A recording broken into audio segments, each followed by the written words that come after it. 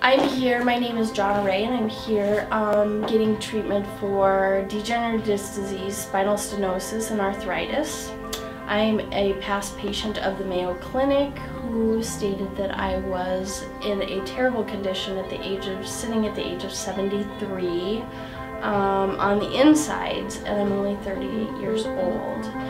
After going through multiple, multiple um, medications, many, the list is endless, for um, anti-inflammatories, pain meds, uh, steroid shots, uh, muscle relaxers, you name it, I've been there.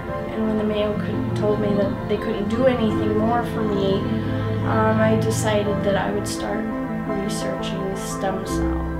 When I started researching stem cell throughout the United States, including universities, uh, medical facilities, government clinical trials, I ended up finding Rejuv Medical. And within one month, have almost full range of motion, very low pain levels, and have not been having